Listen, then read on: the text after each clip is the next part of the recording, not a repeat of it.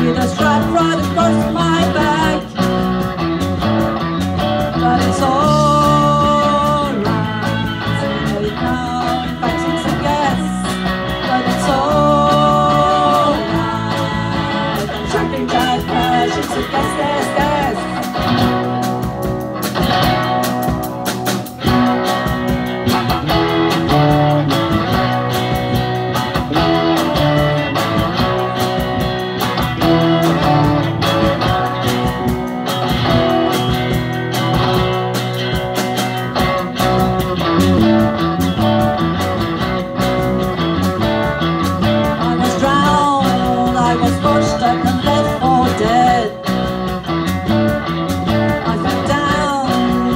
I